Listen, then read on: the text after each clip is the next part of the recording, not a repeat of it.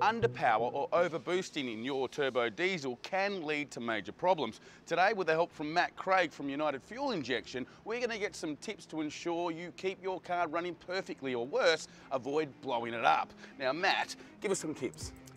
Aaron, we've got a three litre patrol here today, very common car. You see lots of them driving around. Mm -hmm. um, a lot of people do their own home maintenance. Mm -hmm. So, you know, a few small things that they can do to keep on top of it so they don't end up with costly engine repairs.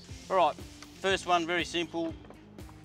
Pull the air cleaner out. This one's nice and clean, as you can see. Mm -hmm.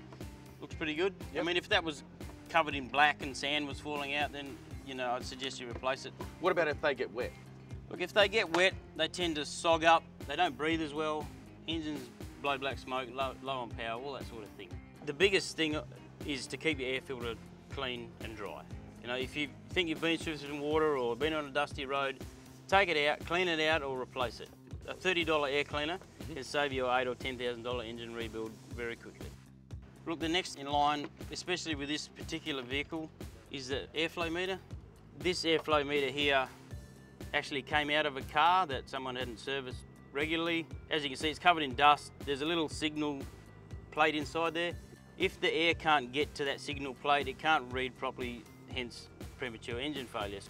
When they fail, puts a lot of air in the engine, which then in turn increases the fuel in the engine, the engine pyros go up, results in piston damage. If it's like this, then I would suggest you need some further investigation. If you were driving the car, what would be some telltale signs that your car needed some attention?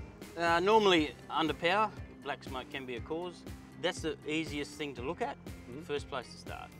Now, people can bring their car in here if they've got any issues and get the service done here, I presume? Absolutely, get the car in here. We, we weld a fitting into the boost pipe here. We check its boost management. That's the best way to check on a, on a three litre patrol what's actually going on. And as soon as we know what that pressure reading is and whether it's controlling it, we can give you an answer and uh, see how bad it is. Now, Matt, once they've diagnosed they've got an issue, how do they get hold of you? Uh, click on the links on Zoom TV to unitedfuel.com.au or give us a call on 9259 3000. Okay, mate. Well, thank you very much for your help. No worries. You're turning me into a man more and more every day.